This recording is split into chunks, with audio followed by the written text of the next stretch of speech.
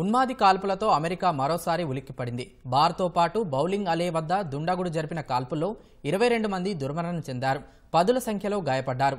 కాల్పుల అనంతరం పరారైన నిందితుడి కోసం ముమ్మరంగా గాలింపు చర్యలు కొనసాగుతున్నట్లు పోలీసులు ప్రకటించారు. అనుమానితుడు ఫోటోను విడుదల చేసిన పోలీసులు తెలిస్తే సమాచారం ఇవ్వాలని కోరారు. అగ్రరాజ్యం అమెరికా కాల్పుల మోతతో ఉలిక్కిపడింది. మైనే రాష్ట్రం లెనిస్టన్ నగరంలోని బార్ బౌలింగ్ అలేలో జరిగిన కాల్పుల్లో ఇరవై రెండు మంది మృతి చెందగా మరో అరవై మంది వరకు గాయపడ్డారు. అమెరికా కాలమానం ప్రకారం బుధవారం సాయంత్రం ఈ ఘటన జరిగింది.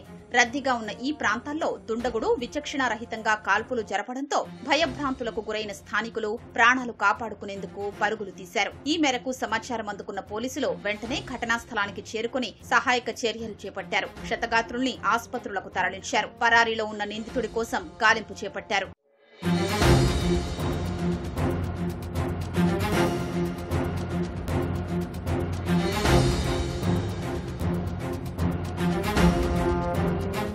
కాల్పులు జరిపినట్లు భావిస్తున్న అనుమానితుడి ఫోటోను పోలీసులు సామాజిక మాధ్యమాల్లో విడుదల చేశారు. అందులో అతను సెమీ ఆటోమేటిక్ రైఫిల్తో కనిపించాడు. అతను గతంలో అమెరికా మిలిటరీలో పనిచేసిన ఆయుధాల శిక్షకుడని అనుమానిస్తున్నారు.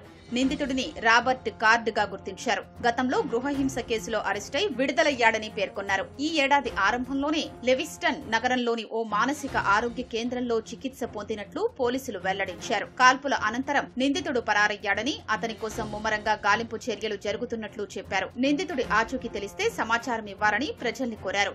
నిందితుడి వద్ద ఆయుధం ఉందని అతను అత్యంత ప్రమాదకరమైన వ్యక్తి అని హెచ్చరించారు. కాల్పులు జరిగిన ప్రాంతానికి ఎనిమిది మైళ్ళ దూరంలోని లిస్బన్ ప్రాంతంలో ఓ అనుమానాస్పద కారును గుర్తించిన పోలీసులు అది నిందితుడిదే కావచ్చని భావిస్తున్నారు.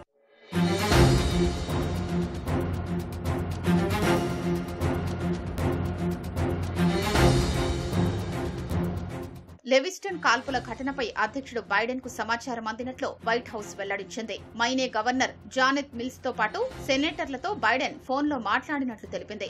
ఇలాంటి విపత్కర పరిస్థితుల్లో మైనేకు అండగా ఉంటామని బైడెన్ హామీ ఇచ్చినట్లు వైట్ హౌస్ పేర్కొంది.